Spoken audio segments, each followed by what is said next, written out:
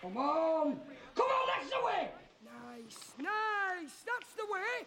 Get it over! Get it over! Don't hang about! Slip it in. Good lad. Nice and easy. Move in and. Sure, I can do this with Trevor watching the football.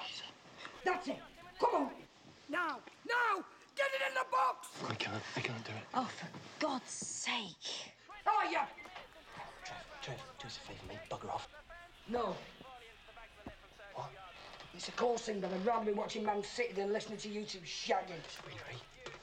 I've got to sit here all night being a bloody bodyguard. I'm bloody under orders. Don't get mercy with Rick, mate. He's only looking after me, that's all. If it's any easier, stop calling me mate and use employee. Go on. Good night, Trevor. Piss off. I mean, if you're not enjoying this, mate, right? If you're not going to be grateful for everything that I'm doing. Grateful? Yeah, if you're not going to be gra- Grateful? It's the bloody free holiday, mate. Do you not realise that? Oh, well, thank you.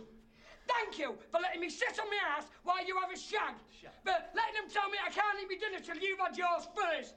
Thanks for letting them call me a fat fucking butterball. Yeah, all in all, thanks for everything. But funny thing is, next time I fancy holiday, I'll go to fucking Thomas Cook. You've got no bloody idea, have you? The pressure I'm under, right? Today, for example, yeah, I got to open up a fizzy can of pop right to the sound of a bell dinging with a green light in my. Great, what? You are sacked. You can't sack me, I've quit. No, you can't quit now, mate, because I've just sacked you. Shit, boy. Fucking donut face.